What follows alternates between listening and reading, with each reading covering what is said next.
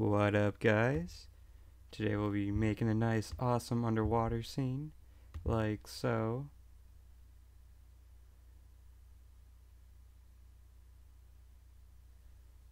I know you like my fishies.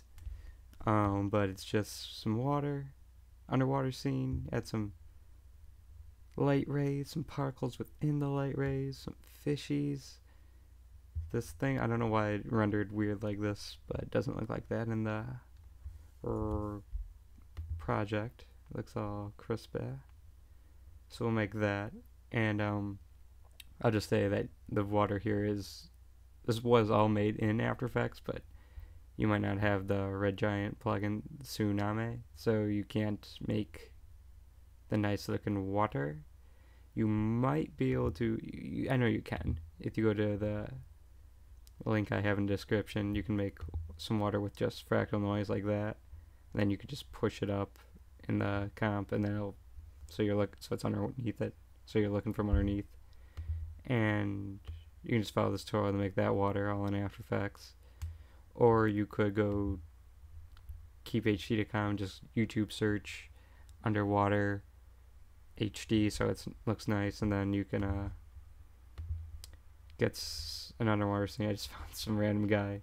See the light rays come from the bright spots in the water and light rays just follow throughout all the bright parts. Can, like they're in right there. So you can follow along with this tutorial no matter what you do. Or you can like yeah this is I didn't really try to follow that tutorial. I kind of just remembered what I from watching it a while back. You can kind of get the same effect but I'm sure if you've actually followed the tutorial you can get some nice looking water with uh, Aharon Rabinowitz's tutorial on how to make water alright but anyway I'll just get rid of these this one, my fishy, and we will make this. Light rays come out of the hot spots of the water, particles coming in through just the parts of the light rays. atmospheric look is what I'm calling it. Um, fishies. And that's pretty much it. It's all animated and all looks fancy. So we will get to that. I'm just going to delete all this stuff. I was just there to show you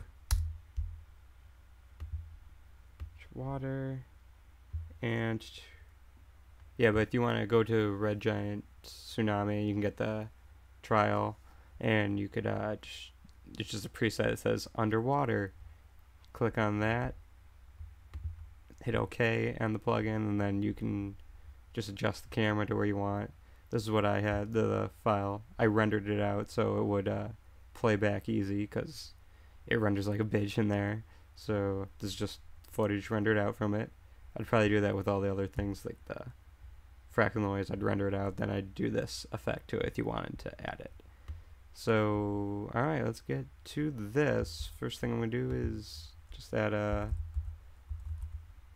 Let's get everything ready. Linear wipe. Put that to the top. Gonna make a mask. Don't want to. And feather it. Just so it has a point where it ends. I can control easier than a mask, so that's why I do that. Alright, then I'm going to duplicate the footage. Actually, I don't know why I didn't do that first, so I'll delete the linear wipe from the top. And now we're going to make a matte where that will just affect the hotspots in the top. So we will add, I'm just going to turn this bottom layer off. And we'll add a effect called Colorama also good for making sky replacements the same way. So you can always say it's isolating all the white spots pretty good. But we just want to make it to a grayscale ramp gray. And we'll add a point right here. Doesn't really matter. Just make it white. Somewhere over here. Make it black. And then we're just going to bring the black in just crush it until we get just the parts we want. Right there. So now it's just animating to the spots in the video that are white. Now it's still, you click on this, you can see it's still black. We need to make it transparent. So just duplicate that with the Colorama. And on the bottom one, just make a track matte, uh, Luma matte And you can see it's just the white spots. And when you're doing it with like the, if you're doing a download a YouTube video, like I said, and it, you do this, it's gonna be like, you might get some weird edges like that's black there. So you could, if you want to make sure it's getting everything, you could add a, not a filla, a fill, and then just change this to white. That way you know it's pure white. So optional. And now we're just going to pre-compose these two so it thinks of it as, uh, just one video to say it and make sure it's move all attributes. It shouldn't give you another option, but just in case it does, let's call it water matte. So now that's just one file. You can turn the video on below it, and you can see it follows it wherever that goes. Alright, cool. Now we'll make the light rays come in from it. Actually, let's make a background. So, layer, new, solid, comp size. Put to the bottom, name it, name it BG, background, and add a ramp. that, and we'll make this just make this the same color as that. Make the bottom end color black. We'll click on it, and then we'll, uh, why doesn't give me the points? There we go. They're hiding. Command Shift H to hide those things if they're not showing up. Uh, move this down, maybe. No, move this bottom one down. Uh, that's blending alright. We'll go with it. Alright. Alright, now let's make the light rays. So on the matte layer that we named with just the white spot, we'll add a fractal noise. Yeah.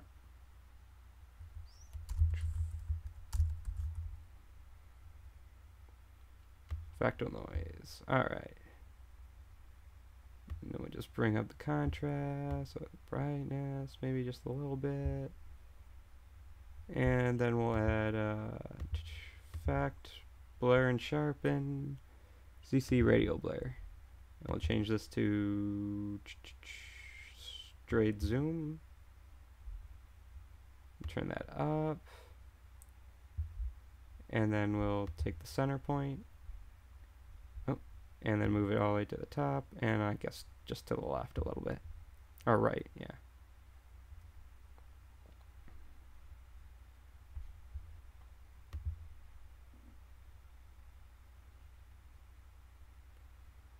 Yeah, yeah, it's optional for the fractal uh, fractal noise. I just maybe you want to get some variation within the variation of it. It's optional, so you can either you can even animate this so it changes if it's like a still shot, but it's already animating and because of the white spot, so whatever you want, it's all good. And then I'll add uh, curves to it. Maybe then you could just adjust it. You can tint it to the color you want. Just gonna bring the red up. Bring green up.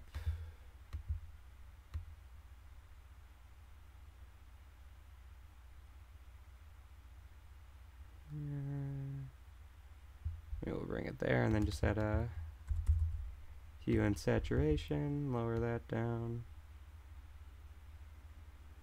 So now we get these little light rays coming from the white spots.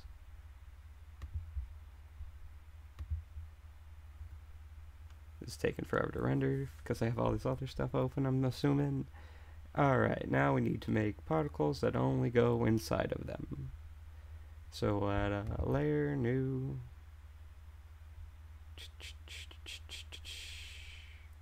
Trying to remember what time I started. I think I have to end in six minutes. Alright, so comp size, and I'll try to keep this in After Effects, so we'll add a I'll just search for it. Not particular, just protect CC particle world. That looks awesome. We'll just go to the guides, turn all the stuff off. grid and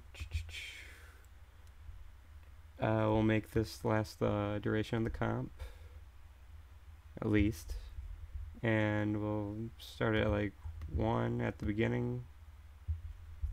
Just add a keyframe and then like a few seconds in I'm just going to bring it down to like 0.4 so it's not as many at the end. And in the producer well first we'll go to the physics. And we'll set the velocity down gravity to zero. So yeah now we got this going on and we want to be pushing out right away so we'll move this back a little in time and I'm gonna just turn this down to half. And I'm just gonna solo it. Bring it out. Alright and let's see. Maybe less velocity so we want to start there where there's already far out. Yep and move it. And then we'll change it to no explosion. Go to the particle settings. Change it to dark invaded sphere sphere? Yeah sphere. There we go. And just change the color to blue. And uh, slightly darker blue maybe it's looking alright and da, da, da. looking alright producer let's just stretch it out a little Z space who knows Alright, so that's looking alright. Now we just need to, we'll adjust it so it looks a little bit better later. But we want to adjust the effect inside the rays. So,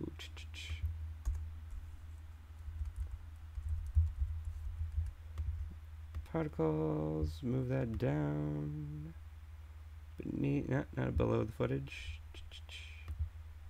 Alright. Alright, duplicate your, we'll name this uh, light rays 2, because I think I have another one. Particles, we'll duplicate this. And then we'll set the track matte to alpha inverted. Nope. Alpha matte. So now they're just inside the light rays, but you can't really see them.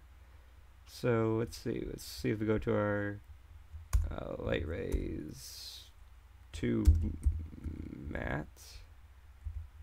Let's change this to light rays 2 back. Okay. And then the light rays matte, maybe go to the curves, go to the alpha, crank that up.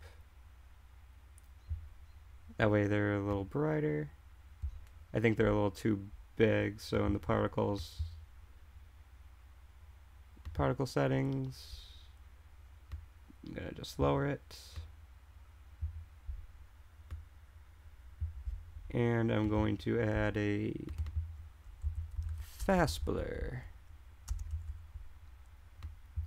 to that. Repeat edge, edge pixels just a little bit. That way they're a little more fadey. And you can see that they just fall within the light rays